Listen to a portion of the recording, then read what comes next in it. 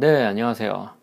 어, 생초보 필수 강의라고 해서 제가 2012년 6월 달부터 해서 야심차게 준비했던 내용들이 있었고 생초보 분들을 위해서 제가 뭔가 어떤 도움을 드릴 수 있을까에 대해서 고민을 했고 음, 그 부분들에 대해서 좀 강의를 계속 해나가려고 했는데 어, 좀 계속 업데이트를 못했네요. 일단은 죄송하고요. 어, 5강부터 해서 지금 좀 업데이트를 좀 빨리 어, 급한 것부터 좀 빨리 마무리를 지어야 될 것 같아서 다시 이렇게 네, 인사드리게 됐습니다. 원래는 이렇게 동영상 강의로 뭐 이렇게 찾아뵐 생각은 없었는데 제가 사실 이것도 글로 또 쓰려고 하면 제 성격이 워낙 또 꼼꼼하고 좀 대충대충은 못하는 성격이라서 또 언제 차일피일 또 미루고 시간 많이 걸릴 것 같아서요. 일단 동영상으로 빨리빨리 여러분들 궁금해 하시는 부분들을 좀 해결해 드리는 쪽으로 해서 좀 제가 예, 방향을 좀 바꿨으니까 양해해 주시고요. 동영상으로 얼굴 뵈면서 얘기를 하겠습니다. 자, 오늘 진행할 강의가 초보들의 질문, FAQ예요. Frequently Asked Question 맞죠? Asking Question. 예. 이제 자주 묻는 질문인데 초보분들이 많이 궁금해 하시는 것들에 대해서 제가 조금 안내를 해드릴까 합니다. 자, 초보분들이 이제 자주 묻는 질문거리 10개를 지금 이제 글에 보시면 글 아래에다 제가 정리를 해놨는데 하나하나 설명드리고 이제 소개를 해드릴게요. 자, 통기타 연주하는데 손이 너무 아파요. 이게 정상인 건가요? 라고 이제 묻는 분들이 굉장히 많으신데요.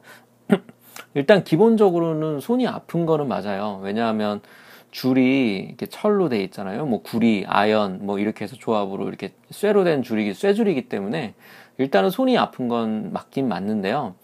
어, 근데 요즘 많은 분들이 기타 사시면서 인터넷으로 그냥 주문하시는 경우들도 많고, 어, 또 shop에서 그냥 사는 경우에도 setup이 제대로 돼 있는지 아닌지의 여부에 대해서 초보들이 잘 모르기 때문에 사실상은 기타가 setup이 안 된 상태로, 어, 그냥 판매되는 경우들이 상당히 많거든요. 그래서 그런 부분들을 감안을 했을 때에는 통기타를 연주하는데 손이 아픈 거는 정상이지만 본인의 기타가 setup이 제대로 안 된 경우에 특히 더 훨씬 심하게 아플 수 있다. 이게 정답인 것 같아요.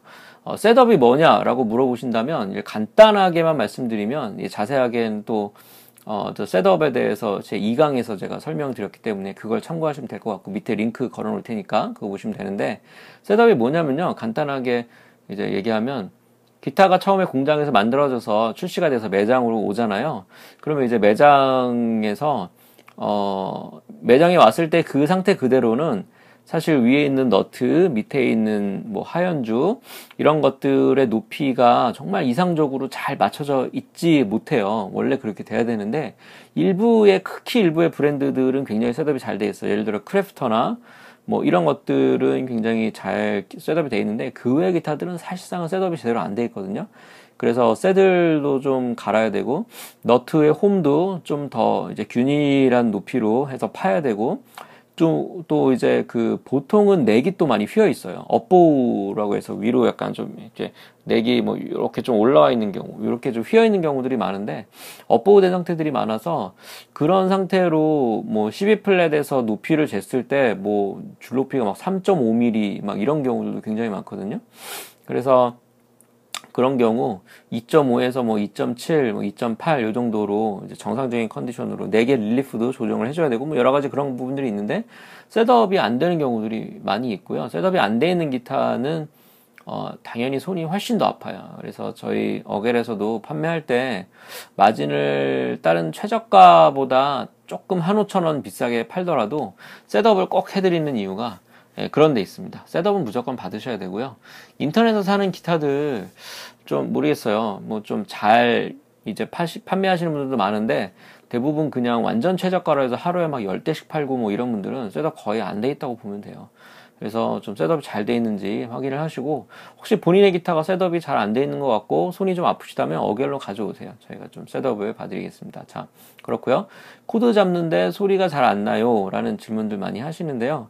어, 코드를 잡을 때 소리가 잘 안 나는 경우는 뭐 몇 가지 경우가 있는데 첫 번째는 본인의 손의 악력이 약해서 줄을 제대로 못 잡아서 그래서 경, 있는 이제 소리가 안 나는 경우가 있고 두 번째는 이제 건 이제 다른 손가락이 이제 코드 잡는 게 익숙하지 않아서 다른 손가락이 그 줄에 닿게 되어 있어서 그래서 소리가 좀 잘 안 나는 경우가 있어요. 그래서 뭐 그런 부분들 그럴 경우에는 한음 한음을 한번 튕겨 보세요. 한음 한음 튕겨서 소리가 맑게 나는지 보고 맑게 안 난다면 그 손 있는 부분을 neck을 이렇게 가까이 봐서 어 손이 손가락이 닿아서 그런 건지 내가 제대로 안 잡아서 그런 건지 이런 거를 다시 한번 확인하시면 좋을 것 같아요. 자, 3번 질문. 기타는 얼마짜리를 사면 좋을까요? 라고 되어 있는데, 많은 분들이 뭐, 처음 시작하는 건데, 얼마짜리 사면 돼요? 라고도 하고, 어, 인터넷에 보니까 뭐, 5만 얼마짜리 기타도 있더라고요. 그리고, 어, 뭐, 한데, 어떤 분들은 뭐, 30만원짜리 사기도 하고, 뭐 하는데, 기본적으로 저는 10만원 미만의 기타들은 좀 되도록이면 구입 안 하시는 게 좋을 것 같아요.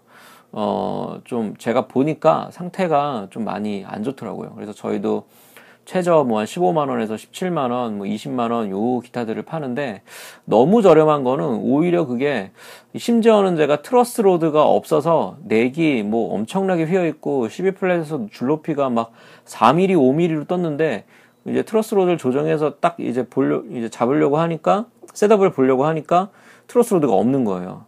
근데 얼마 주고 샀냐고 하니까 뭐 7만 원, 8만 원 주고 샀다고 하더라고요. 그런 거 원가 1, 2만 원이면 가져오거든요. 중국에서. 정말 양심 없는 판매자들인 게 맞고요.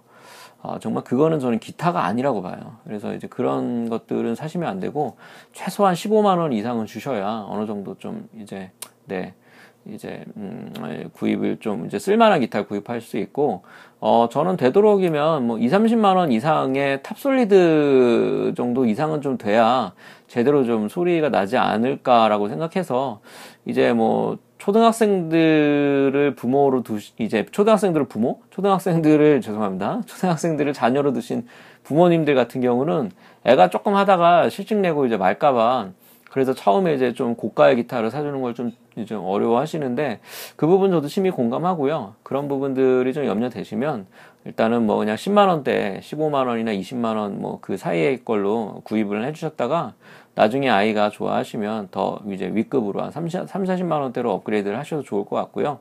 혹시 여력이 좀 되시고 알바도 좀 할 수 있고 대학생 정도 되고 스스로 내가 좀 어느 정도 좀 이제 기타를 구매할 수 있다라고 하시면 저는 되도록이면 30만 원 정도는 주셔야 좀 제대로 소리가 나는 기타를 좀 구입할 수 있지 않을까 뭐 생각을 하는데 어쨌거나 본인의 재정에 맞춰서 이게 구입하시면 될 것 같아요. 색깔 기타는 소리가 안 좋은가요? 라는 질문들이 있는데요. 어, 두 가지가 있는 것 같아요. 첫 번째는 그 크래프터에서 나온 그, 그, 뭐지? 그 색깔 기타 있잖아요. 네온이, 네온이었나? 어, 아, 지금 갑자기 또 이름이 기억이 안 나는데 제가 좀 단기 건망증이 있어가지고 죄송해요. 크래프터에서 나온 그 색깔 기타 있잖아요. 제가 그 밑에 또 다시 한번 댓글로 써놓을게요. 그런 기타들 같은 경우는 칠이 이제 stain, stain으로 돼 있어서 어, stain이라는 거는 이제 나무 자체를 페인트처럼 이렇게 확, 페인트 같은 걸로 확 덮어버리는 그런 자재가 아니라 약간 코팅에 스며들어 있는 그런 재질이거든요. 그래서 어, 소리에는 크게 영향을 안 줘요. 이제 고가 기타 중에 테일러 614C 같은 경우가 어, 도 그렇고 대부분의 이제 all solid의 sunburst나 이런 것들은 페인트가 그냥 확 나뭇결까지 아예 덮어버린 듯한 그런 칠이 아니라 나뭇결이 보이는 칠이잖아요. 그게 이제 stain 칠인데 그런 기타 같은 경우는 그래도 소리에 크게 영향을 많이 안 준다고 보는데 물론 영향은 아주 minor하게는 있겠지만 어쨌거나 이제 그렇게 크게는까지는 안 주는데 저가 기타들은 stain 칠이 비싸기 때문에 그런 걸 잘 못 쓰거든요. 어, 그렇기 때문에 이제 그 페인트로 아예 나무 결을 확 덮어버린 그런 기타가 있어요. 그런 색깔 기타는 소리 안 좋습니다. 제가 예, 단언컨대 소리 안 좋아요. 예, 그래서 그런 소리를 좀 중시하시는 분들은 색깔 기타 안 사시는 게 좋고요. 스테인 칠이 안 된 그런 페인트로 떡칠돼 있는 그런 기타는 좀 안 사시는 게 좋고요.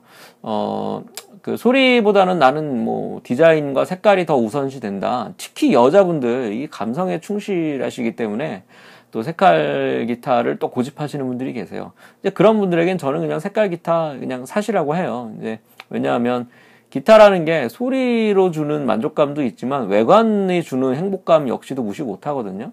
그렇기 때문에 저는 이제 그런 분들은 그냥 외관도 중요하기 때문에 색깔 기타 구입하시는 것도 말리진 않지만 기본적으로는 스테인 칠이 아닌 페인트로 떡칠돼 있는 그런 저가의 색깔 기타는 소리가 안 좋다라는 거는 좀 아셔야 돼요. 알고 사는 것과 모르고 사는 건 다르기 때문에 그거는 좀 아셔야 되고요. 자, 다섯 번째, 줄은 정기적으로 교체해야 하나요? 사실 이제 기타가 어느 정도 익숙해지고 고가의 기타도 좀 치시고 뭐 어느 정도 기타에 애정이 있는 분들은 사실 이런 기타 이런 질문을 들으면 사실은 좀 어이가 없기도 하고 한편으로 멘붕인데 보통 대부분의 초보분들 우리 기타에 대해서 아직은 지식이 없고 아직 나의 그런 여가 생활을 즐기는 그런 취미로서 아직 익숙하지 않은 분들 같은 경우는 사실 줄 뭐 1년에 한 번 교체하는 것도 이제 왜 교체해야 되냐? 안 끊어졌는데 왜 교체해야 되냐 줄 하나 끊어지면 막 2년 된 기타 줄인데 그거 하나만 막 교체해 있고 나머지는 아꼈다가 또 나중에 한 10년 후쯤까지 하나씩 2년에 하나씩 해서 한 12년 10년 이렇게 쓰려고 하시는 분들이 계신데요. 사실 줄이라는 게 기타의 소리를 또 굉장히 많이 좌지우지해요.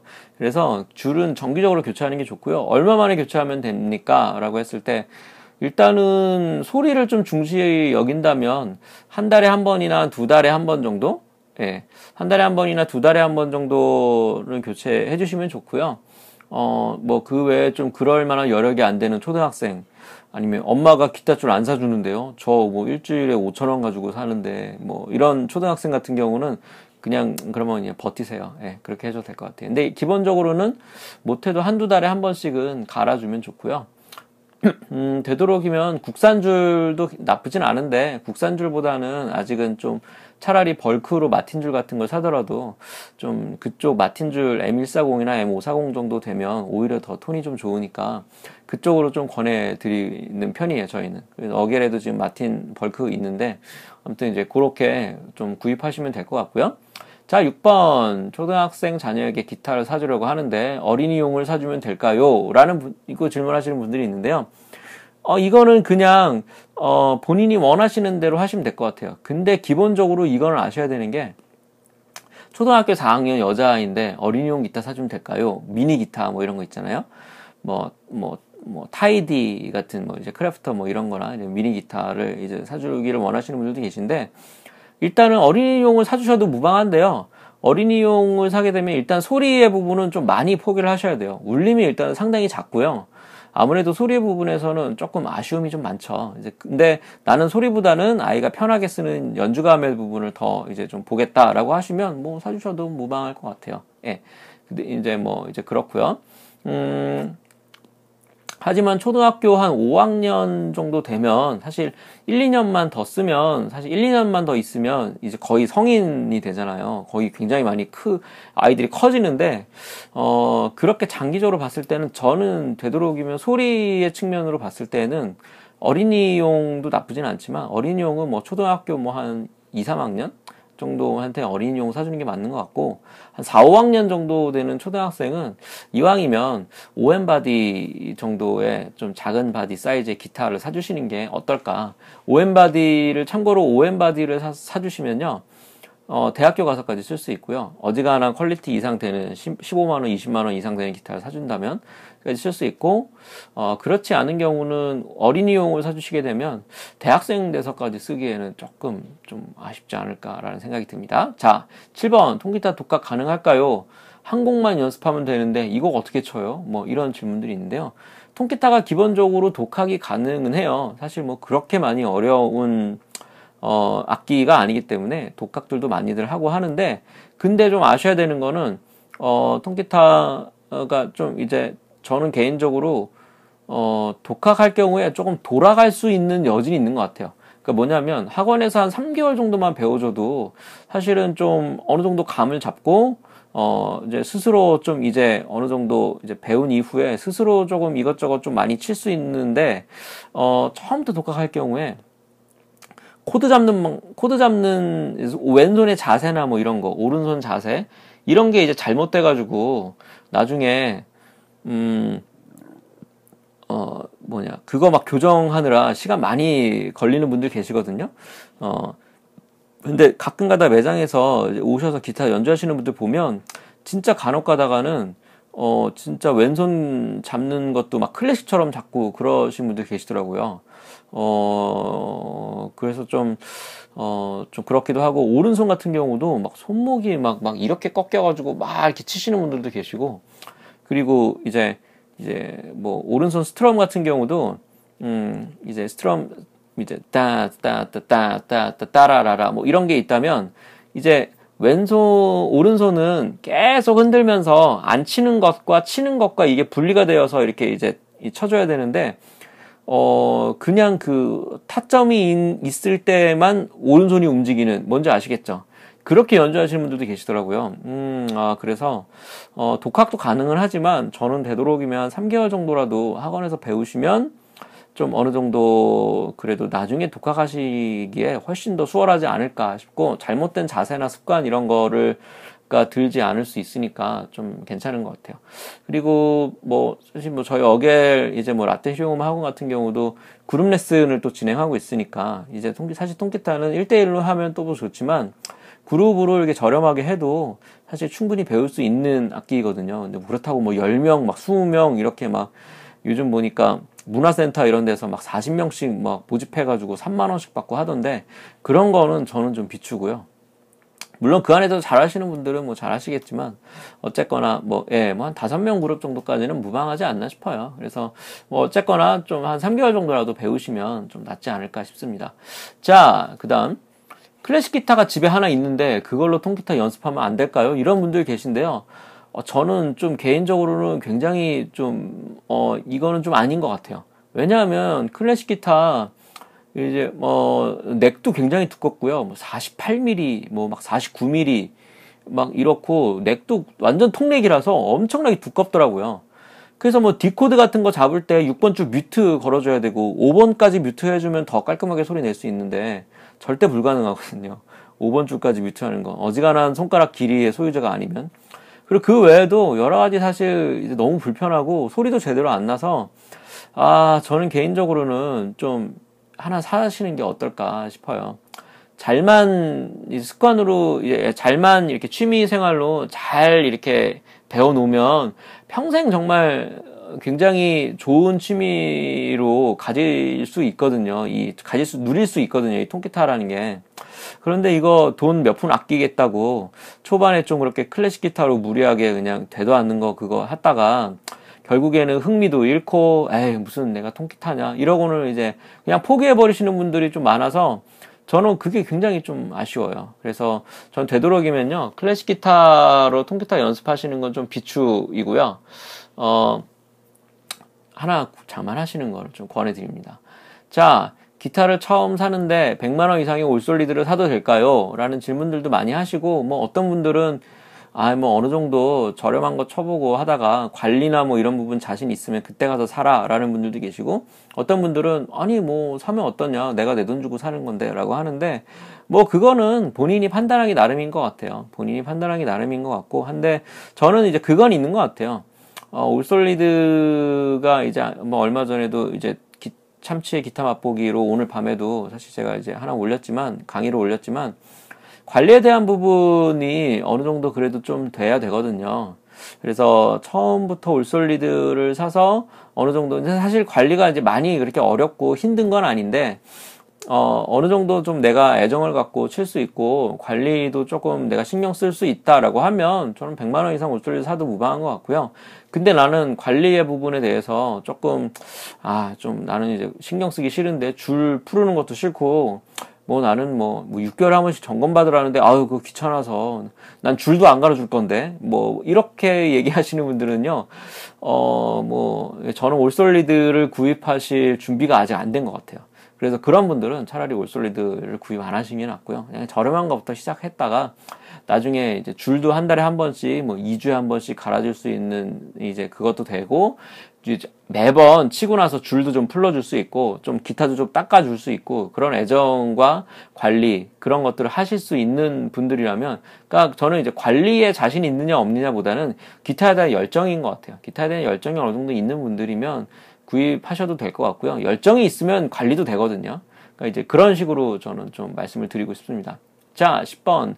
인터넷으로 기타를 구입하려고 하는데 주의해야 할 점은 무엇인가요? 일단 첫 번째, 셋업의 부분 잘 보면 되고요. 두 번째, 나중에 AS 잘 받을 수 있을지 그런 부분 보면 될 것 같아요. 세 번째, 듣보잡 브랜드보다는요, 일반적으로 어느 정도는 조금 좀 사람들에게 알려진 브랜드를 구입하시는 게 좋을 것 같고요. 다섯 번째, 어겔에서 구입하시면 됩니다. 네. 예, 그거 좀 이제 추천드리고요. 음, 신뢰할 수 있는 샵에서 구입하시고 계속적으로 관리도 받으시고 이제 사후 AS에 대한 부분이나 여러 가지 부분들 잘 받을 수 있는 샵이라면 뭐 어겔뿐만 아니라 다른 것도 뭐 좋을 것 같아요. 일단 그래서 이 정도로 초보분들의 질문에 대해서 제가 답변을 해드렸는데 또 궁금한 점 있으면 댓글 남겨주세요. 제가 뭐 일단 최대한 자세히 댓글로 여러분들 찾아뵙겠습니다. 예, 아, 말이 좀 길어지다 보니까 20분이 넘었네요. 아무튼 예, 뭐, 뭐, 계속해서 업데이트 좀 될 수 있도록 이 생초보 필수 강의 역시도 제가 좀 신경을 써보도록 하겠습니다. 예, 감사합니다.